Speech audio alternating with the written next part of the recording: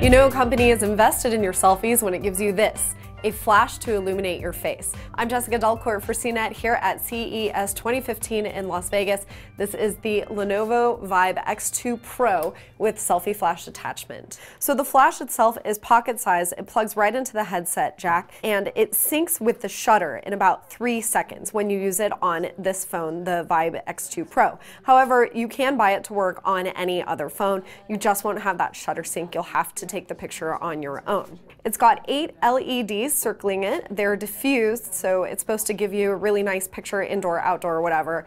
It will take about 100 selfies on a single charge, and it is rechargeable. It has its own charger. Now, the phone itself, the Vibe X2 Pro, has a 5.3 inch 1080p HD display.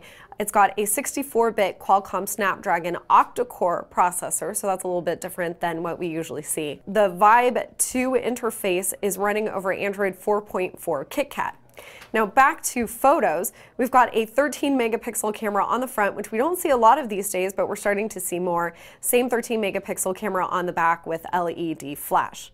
Now the phone is coming out April 2015 for Lenovo's usual markets. That's China, other Asian countries, India. We will not see it in the US, UK, or Australia. It does come in three colors though, electric blue like this one here, champagne gold, and rock pink. Now the phone is also interesting because it's got this triple layer look. So the colors I mentioned are the colors on the back with other colors sandwiched in between.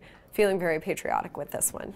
Once again, I'm Jessica Dolcourt for CNET here at CES 2015. We've been looking at the Lenovo Vibe X2 Pro and a selfie flash attachment. For much more information on these products and everything else we've been doing here at CES, go to cnet.com.